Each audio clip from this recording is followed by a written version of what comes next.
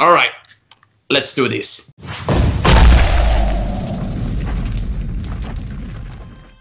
I was about to, buy my beer, but then I realized, oh, oh, damn, we need to do this episode as well. So after this episode, I'm gonna buy myself some beer as well. Yeah, yeah, yeah. Of course. Oh yeah. All right. Well, ladies and gentlemen, well, welcome to uh, SATV show part number tres, three. Time flies. Oh yeah, and uh, and ever since we have been doing this video series, uh, we have uh, been receiving messages uh, left and right, many positive messages as well that they like uh, these uh, kinds of videos. You know.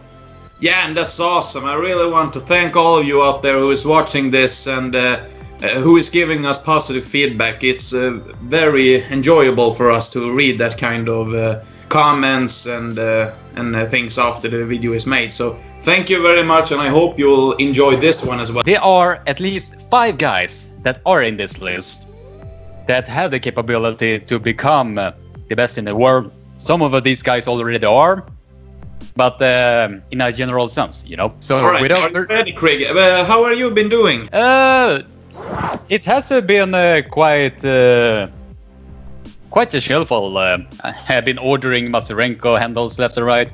The guys from uh, Wrist are gonna send me one of their new handles uh, that uh, I'm gonna do a review over. And outside from that, uh, it has been uh, small talks that uh, the restriction are gonna be slightly decreased with uh, with the regional athletes uh, organization. I don't know how it is uh, called in English. So hopefully in uh, 14th of July we are gonna be able to touch hands again. You know. so outside outside uh, from all of that, it has been relatively cheerful, as I previously said. How are you? Your uh, weekends uh, been so far? Uh, yeah, I've been kind of busy. I've uh, been trying to expand my driver license to uh, to drive heavier, uh, uh, heavier, uh, to do some more heavier driving due to my work. so it's been a lot of studying and lots of practicing. So it's been a handful. this week I actually didn't do so much work. Uh, so I just only do around uh, 30, 30 uh, hours. so it's been quite chill. Today I actually was at the car and the flight museum uh, down uh, down south in Sweden. It was very exciting. Uh, lots of old cars. Uh, love that shit. Um, otherwise, um, I've been doing good. I've been uh, doing some um, uh, some mental training for my personal health. yeah, I've been taking some walks, listening to music. Have have had a lot of me time uh, I really felt that I needed that. So um, yeah, I'm excited. I feel uh, reborn. I feel fresh. Uh, most of it, I feel super strong. Uh, unfortunately, I I cannot um, I cannot prove it to anyone, but I can promise you out there, I'm uh, ridiculously strong at the moment. Uh, but otherwise, I'm I'm doing great. I feel feel great. Um, yeah. Well, mental health awareness is also very good to do. And um, without further ado, let's get in with the uh, WAL Man Heavyweight Swedish edition. So, and uh, trust me, there are some names here that uh, probably most of the arm wrestlers already know about. So, so without further ado, let's get in with these bigger boys.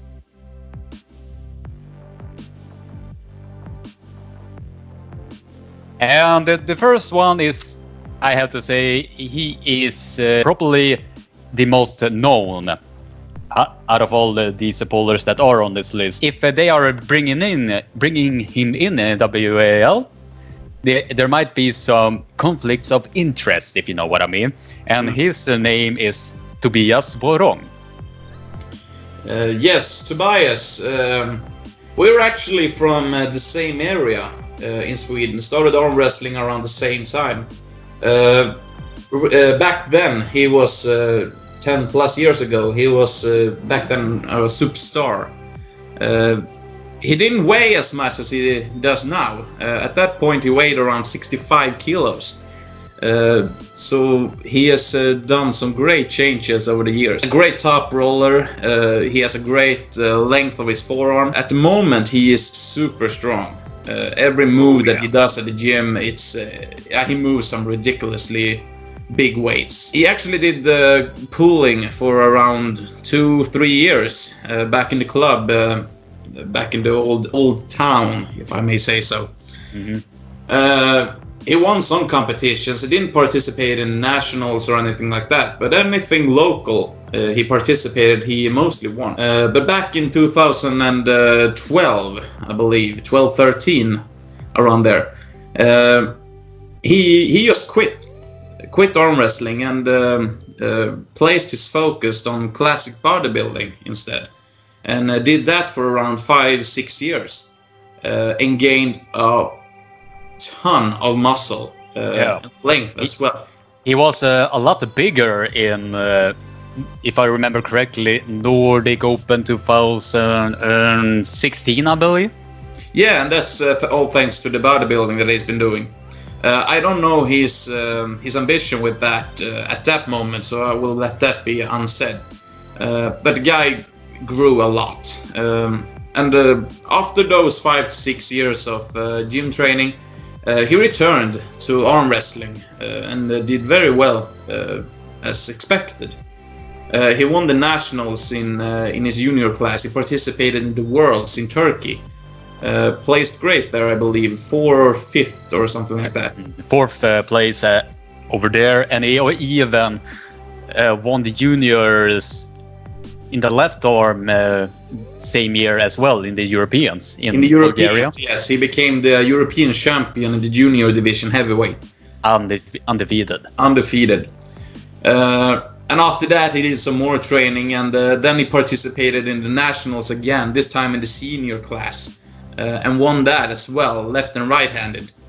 Um, and just last year, he participated in Zloty Tur, and that's from uh, Oh, where yeah. I believe most of our viewers know the guy from, uh, where he just um, appears from nowhere with a headband, uh, looking grey, looking strong, Looking uh, like a big second and third place after Dmitry Selayev. Uh, so that is a great accomplishment for the guy. The fascinating thing was uh, when I saw that he uh, busted uh, Dimitri Silayev's uh, handbag like that, I was like, "Oh, it's on! It's on!" Yeah, it was very, very close. oh yeah. But, uh, Unfortunately, uh, Selayev had uh, the better strap at just that match, so um, Dmitry Oh, yeah. ended up beating Tobias. But um, I mean, just to be up there at that kind of scene with those kind of pullers, I mean, it's it's great. It's great. especially uh, when you have a lot of uh, big names uh, under uh, right under you as well. Yes, and let's not forget that Tobias is still very, very young. He was born in 1997. Uh, Mhm. And I mean, he's still a kid. Uh, and uh, for him at that age to accomplish those kinds of victories, Mm. that is uh, something that most pullers only have dreamed of doing. Yeah. Uh, so, I mean, still now, uh, Tobias is uh, a great name and he has been known for his victories. Oh yeah. I thought that he was gonna be the one for a top eight transition uh, shot because, in my honest opinion, he really deserved to be in that uh, whole uh, category. In my opinion. Yeah, and eventually I, I believe that he will. Oh yeah. I mean, he's still very young in the sport. He hasn't been um, uh, he hasn't been a part of arm wrestling for that kind of long time. I mean, he just been back for three, four years, Mm. Um and I mean that the is. um uh, to achieve that that much in such a short period of time. exactly, uh, re- really period impressive. time. Yeah, it's very impressive to manage to done all of those things. Absolutely. Yeah. I know I'm probably gonna be shit talk uh, for me to stating this, but in my honest belief, I think out of all the, the top eight competitors that are there, besides Larratt, I think uh, Tobias is capable to bust Levan Sandback. Mm. Yeah. It's public Yeah. for me to say that. Yeah, absolutely. it- Uh, it- but this show next- is about the WAL. yeah, yeah. Um, So what do we, are think talking about? about, uh, different organizations. yeah. now. So what do we think about Tobias in the WAL? I think he uh, can uh, get a win or two uh, with the top guys that are there right now. Uh, that, that- yes, that I is just my opinion. Um, and in my opinion, I think that uh, Tobias has uh, too long of a fuse. I mean, the guy isn't that uh, full of adrenaline like most of the heavyweights are in the WAL. I mean, if we would uh, put Tobias against someone like Matt Mask, uh, I believe that technically and uh, in strength, Tobias would definitely be in that category. But in the way of uh, energy and uh, adrenaline and all those emotions that, for example, Matt Mask has, uh, I believe that Tobias will be in, uh, will be in a big disadvantage. Uh, because that Yeah. kind of energy that produces during the match is uh, giving him that extra boost that may be needed to win the match. Uh, Yeah. So I don't know. Uh, absolutely in strength and technique, but maybe not mentally. Yeah. So that would be a great, uh, great thing to witness if Tobias has what it takes to be in that kind of Environment. situation. Yeah, Uh, because uh, uh, Tobias uh, certainly have the strength and the, the uh, technique uh, to be uh, uh, pulling in the slightly elite section. Maybe I don't know if it's gonna uh, pass by Todd Hutchings, but uh, I see that if uh, Tobias uh, can get uh, in that certain mental state, he will uh, slightly progress, progress, progress, progress. Because uh, I don't know, uh, I don't know with you, but I can see uh, Tobias uh, busting uh, Devon's hand back, Mm. like Matt uh, Matt Mask did uh, two years ago. Yeah, probably. Probably he will be able to do that. Um, but let's uh, let's be honest here. If Tobias were to be given a chance in the WAL, He needs to work his way up. Yes, but do you uh, do you think that Tobias would take that chance? Yeah, if he was given it, I don't. I am not gonna speak for the guy because uh, that is his uh, choice, uh, own choice at the end. But if I were him, I would uh, certainly take it. Yeah. Uh, the thing is, I don't believe that Tobias would. Uh, because if you follow him uh, on Instagram and you know his progress and his uh, mental goals, uh, then you should know that Tobias is aiming for a top eight position. Oh, Uh, yeah. So I don't, I don't believe that Tobias uh, would want to be in the WAL. Uh, mostly because he, he wants to be in a different uh, division than those other guys like Devon and Matt Mask and Cadorette and all those uh, people. Yeah. Uh, he said in an interview last year uh, with um, Tyngre, I believe, or Max uh, Styrka, Max Styrka, kanske, uh, that he his goal is to defeat Levan Saginashvili. Uh, so I believe that Tobias' uh, goals are way too different uh, for Mhm. even be a part of the WAL. I may be wrong, uh, I may be right, I don't know. Uh, that's just um, my observation of the situation. Hmm. Um, Interesting. yeah, so I don't Because, believe uh, Tobias like to be in the WAL. Yeah. But uh, as I also see it, he has the capability to become uh, the top tier in either organizations, like WAL, PAL. He has the capability to, to become one of the top tiers in both uh, leagues.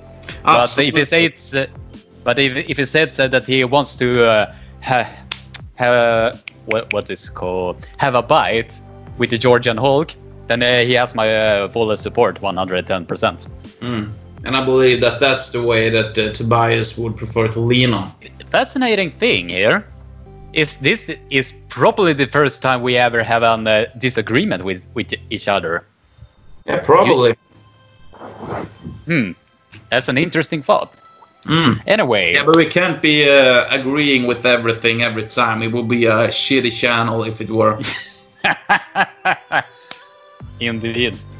If we were just gonna have uh, the same opinions, it would just be a circulating chamber. yeah. What's the point of being two if uh, we would always agree with everything. hmm Indeed. Before uh, Tobias uh, came in, came back into the picture, he was uh, the number one seating in Sweden as the super heavyweight star, at least on the left arm. This uh, guy, for those who don't know, he ha- has been having uh, small battles with Levan Saginashvili, Dimitri Selayev, Ar- Arif Ertem, and he has busted the handbag on all of those three guys. And his name is Erik Fahlgren. Eric Fahlgren, yes, uh, the probably one of the biggest guys that we have ever had in Sweden, and I mean that literally. Uh, the guy is huge, and um, uh, he has done some great matches. Like Krieger mentioned before, he pulled against Saginashvili and Artem and uh, uh, all of those big guys that you have uh, heard of, uh, and done great. Uh, I believe that he has uh, been pulling Pushkar as well, or am I wrong? Uh, I don't, um, maybe like a while back. I don't know Yeah, this is a couple of years ago. I, I believe that uh, he pulled uh, Pushkar at the European Championship a couple of years ago. Mm. But uh, Pushkar's uh, last uh, buff uh, tournament was at e- at uh, in uh, Lithuania 2013. Mm. So it, it probably might have been somebody else, but we're getting off the topic here. Yeah. Uh, Erik Fahlgren uh, is uh, probably one of the most successful uh, arm wrestlers in uh, current times, at least in the men's division. Mostly because of his accolades, uh, like uh, coming fourth in WWF Worlds uh, 2017, uh, managed to, to win against Arif Ertem, who two years later became the current uh, WEF uh, WAF World Champion in the plus 110 kilo category. And Fahlgren also became the IFA World Champion on both arms relatively Yeah, easily. and let's not forget that that uh, we're talking about the current uh, world champion here in the IFA uh, worlds. Uh, he's a big guy. He's a strong guy. He has very strong hand. He can pull inside, outside. Uh, he is very flexible at the table. It's uh, great, uh, great to see. He has uh, been getting a lot of good wins uh, this past few years. Even uh, get some uh, wins against Tobias Sporrong on the arm. Tobias became second in. So they were they were usually going back at the one another. Erik Fahlgren was the one with, with the hit and busted the uh, Tobias a hand back a little bit, but if the match uh, became more in the center, uh, Tobias was the one uh, victorious in that. Eric Fahlgren's uh, uh, biggest weakness is uh, someone that goes straight sideways like that. Yeah, Especially if you can uh, take away that massive strong hand out of the equation. Especially Yeah, if you are in the strap. Uh, exactly. To apply that kind of side pressure, you attack the delts of your opponent. Um, and as soon as you separate the hand from the shoulder, the match is uh, mostly finished. And I believe that uh, also a great uh, weakness from Eric is also the speed. Uh, that he has uh, some kind of uh, some trouble with people that are faster than him. Especially when someone is uh, attacking at the way that he has uh, huge problems with. Yeah, exactly. Uh, so I mean, the guy is very strong. If he can stop the match, he often wins it. Uh, but like most uh, arm wrestlers, I have that kind of problem as well. If someone is faster than me, then I'm in uh, shill loads. uh, it's very difficult to get out of that kind of position if you meet someone that is explosive and strong at the same time. But in the WAL, you know who I would like to see uh, Eric against? Hmm. Who? The Big Daddy, uh, Jerry Cadorette. Also, Oh, interesting. Uh, I, I don't know why, but it feels like those two would be a great match. Uh, mhm. I mean, uh, Eric's is strong inside, uh, Jerry is strong in the inside. Uh, and I mean, also Eric is a great top roller, so I would love to see that strap match when uh, Eric comes out and taking the hand of Cadorette. and they're just lying there and apply the pressure from both uh, both angles. I would love to see that. Mm, personally, I would uh, like to see him properly against um, maybe Matt Mask. Uh, yeah, uh, I do, however, believe that Matt Mask would be probably too quick for Eric for the first match. Um, to give Eric a chance to prove himself in the WAL, I believe it would be uh, a good, uh, good uh, choice to put him against someone that is uh, also not that quick. Uh, if you know what I mean. I mean, so we can have some uh, some action in the uh, in the match. Because I believe if you would put Matt Mask against Eric at the moment, Matt Mask would just uh, put all that explosivity at the same time, and the match would maybe or maybe not be over in a second. Uh, and the people want to see a good match, uh, a long Yeah. and uh, endurance uh, match. Mm. Uh, so I don't know. We, we probably have uh, more names to add on that list on who Eric could pull. Uh, unfortunately, I can't uh, think of anyone at the moment. I just thought of Cadorette and believe that this is. Um, yeah, I know uh, some other names that I think is more s- suitable because uh, Jerry is attacking on the area that uh, Fahlgren has huge problems with. Mm.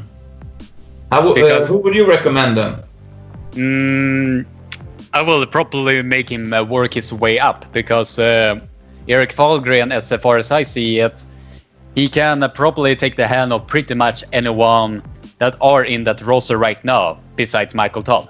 Exactly, but in that kind of uh, situation where we'll let Eric, let Eric rehab uh, and train and get strong, uh, maybe give him a year or two. Mm.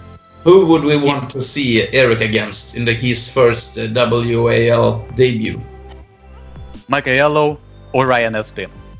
Mike Ayello, yeah, that's a good choice.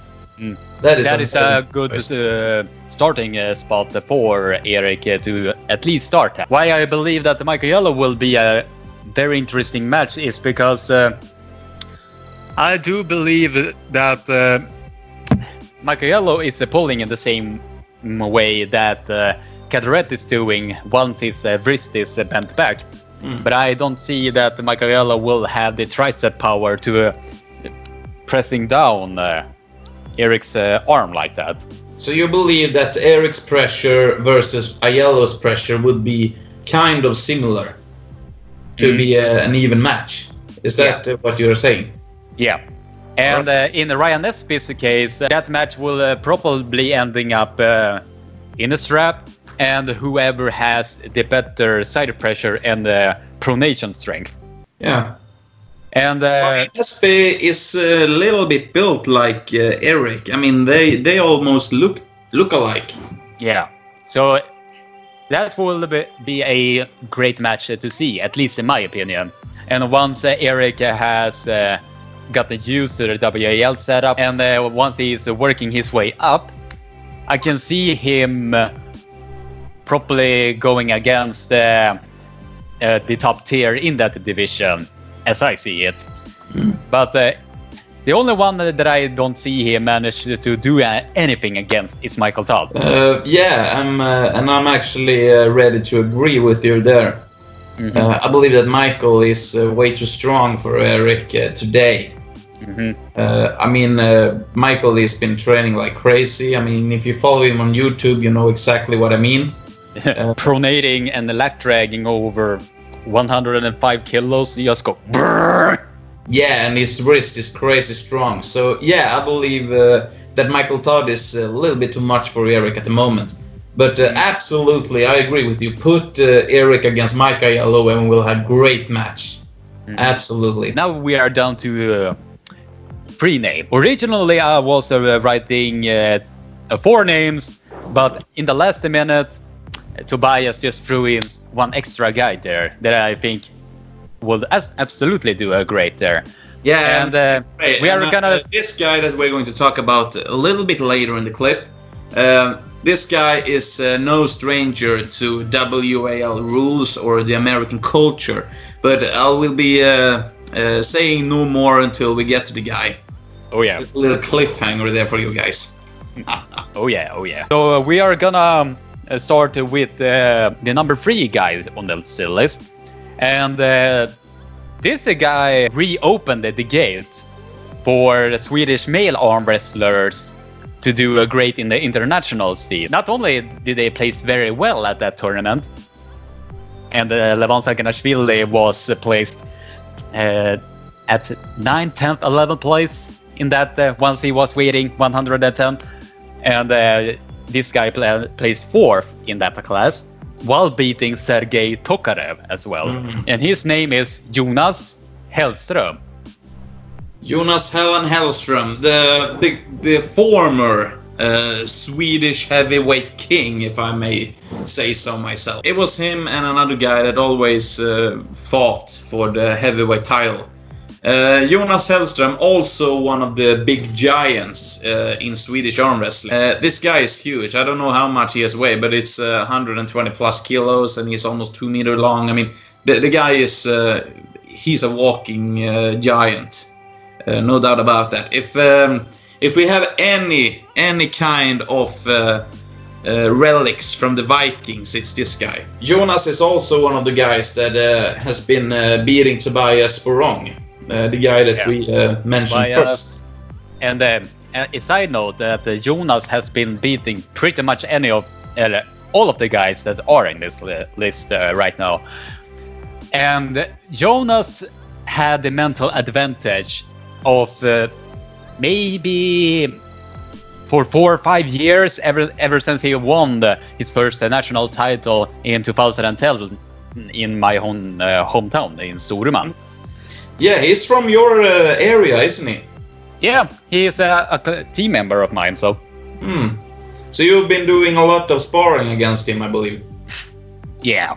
I, and uh, let me tell you, he makes me feel like a little kid every single time. Especially when he was uh, in his uh, peak form.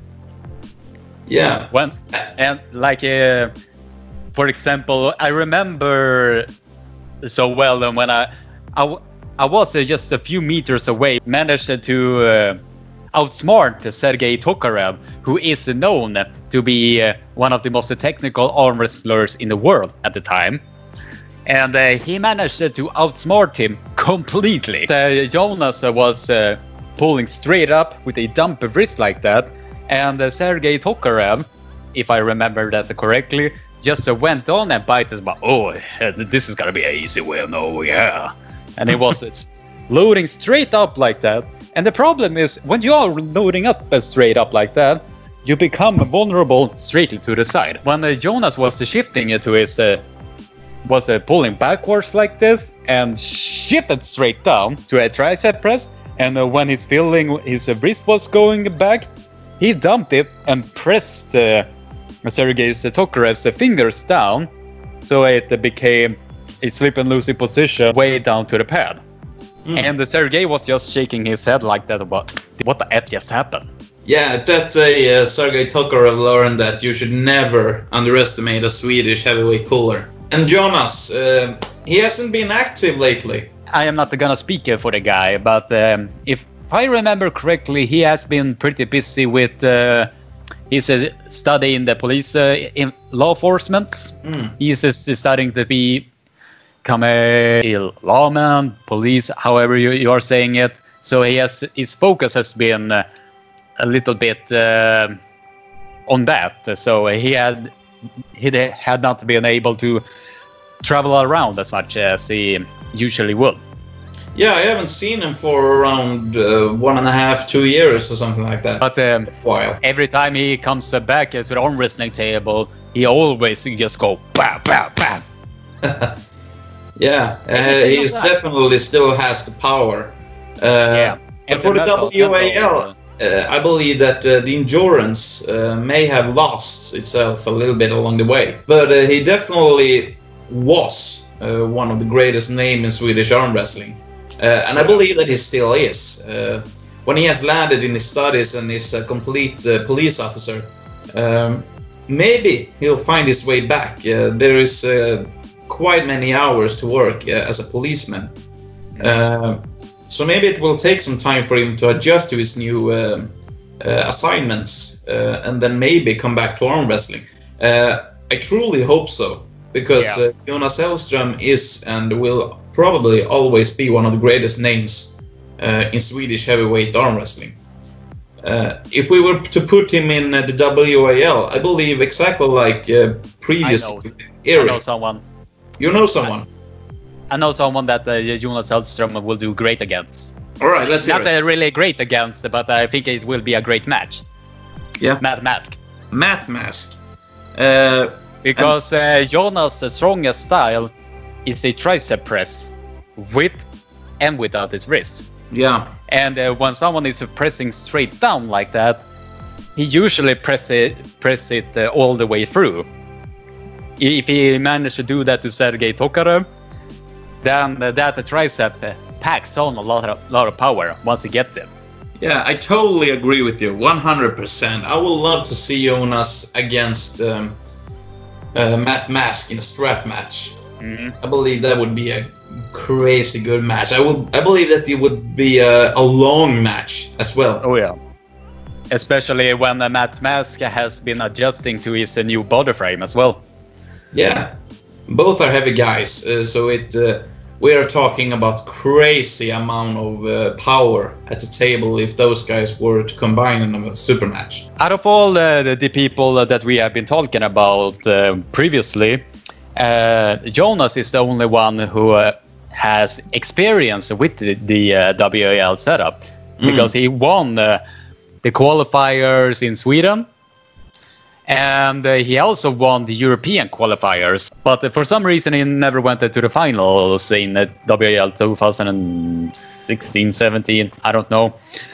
Yeah, and that's a shame. That's a big shame. Uh, he pro- he he obviously had his reasons, so I'm not going to uh, yell at the guy. But it, it was uh, too bad that he wasn't able to participate in the uh, American WAL. The next one uh, is uh, one of the best uh, heavyweight in Sweden, and he has been uh, doing quite well, placing in the top 10 in almost every Buff Wars that he's been going to.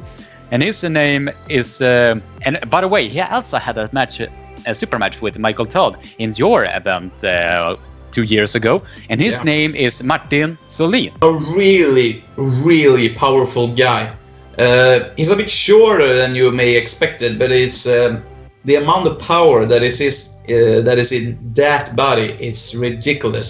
Uh, like you mentioned, Krieg, I held a competition two years ago here in Gothenburg, uh, named Swedish Monster Cup.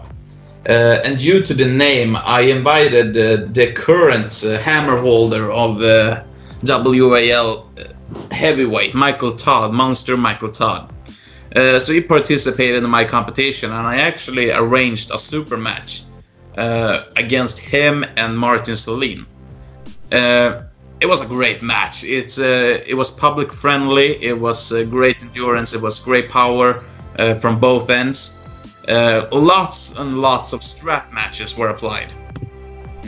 Uh, and I mean, both of those guys uh, kind of um, uh, engaged in different uh, fighting position. Uh, uh, Michael Todd with his famous King's move, and uh, Martin Solin tried both top roll and hook. Unfortunately, Martin did not win that uh, match at the time, but he did great. Uh, He certainly- he certainly- and analyze it. he even uh, uh, gained the, the respect of uh, Michael Todd at the time uh, as well. Exactly, exactly. So it was a great event, and he has also been doing uh, great at the Golden Arm Championship, who is uh, that is a great competition in Sweden back in Eskilstuna. Uh, and like you mentioned, he has uh, done great uh, both uh, international and national. Uh, He is a former Swedish uh, national champion, uh, and he has uh, tons of medals from national championships. Yeah. In pretty much e- any tournament that he has been entering, he has been at least uh, uh, coming uh, back uh, with uh, some victories here and there. Exactly. Uh, so Martin is also one of those great guys in heavyweight arm wrestling, and he is training in the same club as Erik Fahlgren, like we mentioned before. Uh, they're both both training for um, Uh, Övik, uh, Övik Armsport. Övik Armsport. Uh, up in um, Örnsköldsvik, like it's called, up north. Mm. Um, yeah, uh, so uh, I don't know what more to say about Martin except that he is a strong guy like anyone else, and uh, he is uh, he's greatly motivated. Uh, he's doing great training, and he has great uh, training partners. Um, and like anyone else, this is no news. Uh, I mean, I would love to see him in the WAL. Uh, Mhm. I do believe that uh, He will have it a bit difficult. As Uh, Probably. He has a short hand. Uh, he has a short arm. Uh, so his greatest uh, leverage would be his hook. But because that he is competing in uh, the heavyweights, he has a lot of top rollers, uh, which may or may not be a disadvantage for the guy. Uh, Because I don't know if uh, the top roles of those guys would um, uh, be too much for Martin. I don't know. Uh, I will especially love to see him in the straps. Uh, oh yeah, so, uh, he favors the he is a very, he's really really strong in the straps. Exactly. So I do believe that uh, we would see a lot of strap match if we would have Martin in the WAL. I just uh, remember at the top of my head a match that I think will be uh, really entertaining, at least for a start startup match. Martin versus Ian Carnegie. Mm. Yeah, uh, that would be great. Uh, I mean, those uh, they look alike as well. Uh, so I mean, it would be a great match, uh, definitely. Ian Carnegie is also a short and strong guy, uh, so maybe he would be the same as Martin uh, if they would be pulled. So Yeah. Because uh, uh, Martin, uh, if I can picture this match correctly, Martin will go out on his uh, top roll and uh, Ian Carnegie will go for his soak. But uh, the thing with Ian Carnegie that he can pull with the dead wrist as well. So uh, that's why I believe that match will be interesting to watch, at least in my opinion.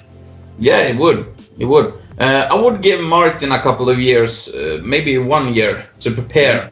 Uh, because, like anything else, and uh, like every other Swedish arm wrestler that we have been talking about, uh, it's a huge difference between that kind of setup that uh, we are normally used to uh, compared to the WAL setup. Mhm. Uh, but I do believe that uh, Martin would do great if he would want to be a part of the WAL uh, and if he got that kind of setup comfortably. Mhm. I believe that he would uh, do great. Martin has uh, uh, doing well uh, with the guys that are that are on this list, uh, Jonas and even uh, Erik in some occasions. Yeah, But, the difference uh, from Martin from all of those other guys uh, is that Martin is still training and he's training hard. Yeah, uh, so I do believe that we're going to see more of this guy in the future, especially now during the the virus times. Uh, Martin that- has tons or- of uh, opportunities to build himself to be a great beast oh, yeah. uh, both mentally and physically. So I hope that we will see a lot more of Martin in the future. oh yeah, I almost forgot. He placed the second at the IFA Worlds. I almost forgot about that. He is a world silver medalist. Oh yeah. I mean uh, that you should uh, you shouldn't take for granted as well. I mean that's a great accomplishment, especially Oh, yeah. for uh, for him. I mean. Mm-hmm. Uh, I believe that that means a great big of deal for him. If he keeps it up, and if he if he gets into the WAL, probably get a win or maybe two, uh, judging on who he will uh, be facing against uh, in I the believe that he could uh, place top five. That's my Mm. opinion. I believe that this guy has the strength uh, that is necessary to place Oh, yeah. himself up there. So uh, yeah, we will, Interesting.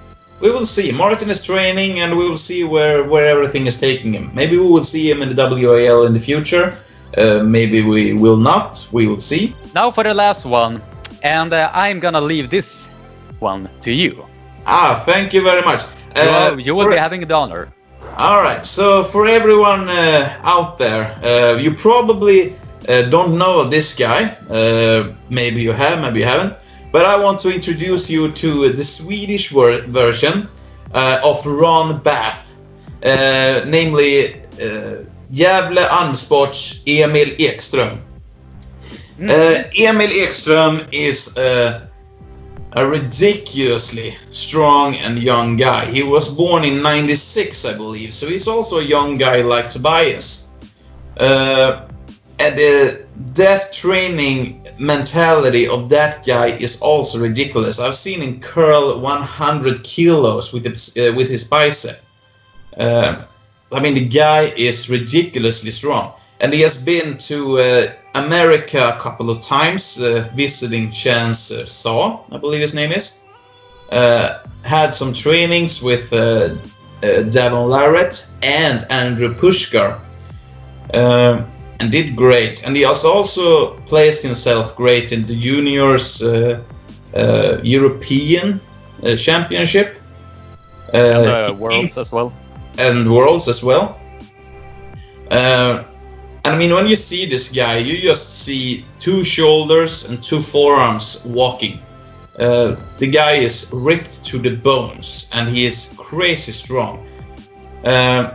Uh, and most of all, he is very comfortable with the American setup because it's been on what I know two competitions in America that had this kind of setup. Uh, so he's definitely not a stranger to American culture, um, and he's great with um, with the Americans. He, he is very respected. Uh, he has won a couple of uh, those uh, competitions back in America, uh, and he also has won I don't know how many competitions in Sweden. So I can tell you right here and right now, if he were to go in uh, the WAL uh, in America, I would love to see Emil against Ron Bath. Maybe not because uh, that Emil would have a chance. Maybe he will. He maybe will not. But just because that Emil and Ron has almost the same fighting style, and they also almost look identical. It's ridiculous. That's just my opinion, but I always uh, believe that. I believe that uh, uh, Emil Ekström is the next Ron Bath. No doubt about it. When you mentioned uh, that he is like uh, the Swedish version of Ron Bath, it's probably the most accurate description uh, out of anyone we have been talking about so far. yeah, I can't believe anything else that would be more accurate than that uh, statement right there and right now in this clip. when you're speaking of raw power, he had a great uh, hook matches against uh, what's the guy? Saulus uh, Abromaitis, I believe the guy name is. And that guy has name over uh, Tobias Sporrong and Erik Fahlgren. Yeah, and uh, Ekström also has uh, matches against Vias Antelis, uh, Tobias Sporrong, Alexander Janssen. He has lots of routines. And he has been doing this for almost as long as I have, uh, around 10 years. Uh, so it's not that long, but it's uh, quite some time to develop his own style, and he's very comfortable at the table, and he is uh, crazy strong. Uh, I've been pulling him not in a competition uh, for many many years, but I've been pulling him at the side table, and um uh, I'm glad to inform you that uh, the power that he had when he was a junior uh, is increasing. Swedish nationals uh, last year. He placed really, really well in the 100 uh, kilo category, I believe he it was. up, uh, third place, didn't he? Yeah, and uh, that was his uh, first step in the seniors as well, Yeah. So I mean, if I remember it correctly. So yeah, but I, I agree. I, I also remember that he placed third in the 100 kilos at the nationals. Today, the guy is around 105 kilos, I believe. Uh, he participated in the golden golden arm uh, and also got a medal, I believe. I don't remember which place, but he did great. Um, so I mean, Emil Ekström is also up and coming. I mean, we will see a lot of this guy in the future. Uh, and like I mentioned before, uh, he's young, uh, he's strong, he has a great training methods. I mean, he's doing some powerlifting, I believe it's called. And most of all, the guy keeps staying healthy. Uh, he doesn't have a big, uh, big uh, injuries in his body, which is a great, great thing when you're trying to grow uh, and become stronger, obviously. So yeah, we will see a lot more of Emil Ekström, uh, no doubt about it. Uh, and in my opinion, and this is God's honest truth, uh, from all of those guys that we have been talking about today, I believe that Emil Ekström is the guy uh, who is going to be greatest part of WAL because I, I truly believe that Emil uh, belongs in that category, and I do believe as well that he wants to be there, uh, which is also a great uh, uh, big deal for anyone to be in the WAL that they want to be a part of that event.